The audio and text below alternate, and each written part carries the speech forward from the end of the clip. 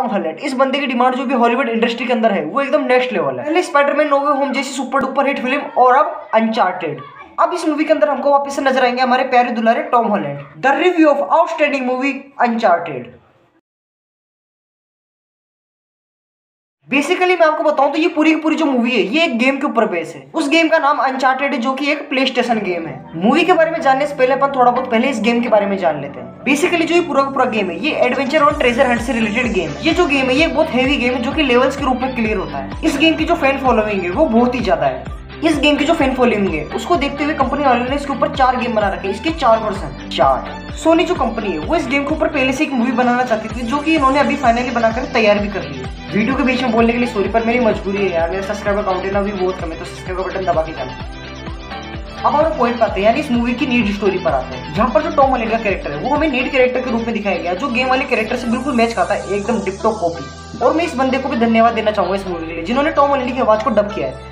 भाई, इस बंदे के बाद टॉम एलेंड के ऊपर ही शूट करते हो, किसी के ऊपर नहीं करते। बेसिकली यहाँ पर जो पूरी पूरी मूवी है, ये ट्रेसर हंट के अराउंड घूमने वाली है। यार, इस मूवी के अंदर जो ग्राफिक्स का यूज़ हुआ है ना, वो एकदम नेक्स्ट लेवल है। तो किस मूवी की क्वालिटी इंप्रूवमेंट में काफ़ी गहरा असर डालने वाली बेसिकली यहाँ पर जो ट्रेजर हंट की मूवी होती है, वो साइंस फिक्शन से रिलेटेड मूवी होती है, जो हमको काफ़ी अट्रैक्ट करती है अपनी तरफ़। बेसिकली यहाँ पर मुझे ट्रेजर हंट से रिलेटेड मूवी का शौक तब लगा था जब मैं बचपन में डोरेमोन देखा था।